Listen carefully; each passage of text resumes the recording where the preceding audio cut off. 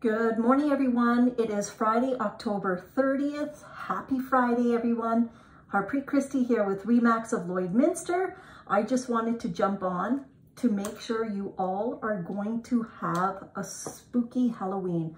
I'm getting ready, as you could see. Not sure how I'm going to be doing my hair yet. I got my nails done. We're good to go.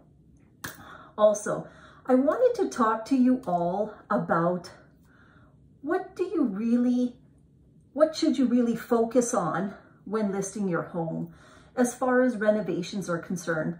You know, like you can do the occasional paint, um, flooring, things like that. But I think you should always focus on the big ticket items like do your shingles need to be replaced?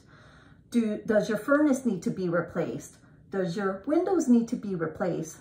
having those done prior to listing your home really goes a long way and you do get the value out of it. So I just wanted to share with you all that information.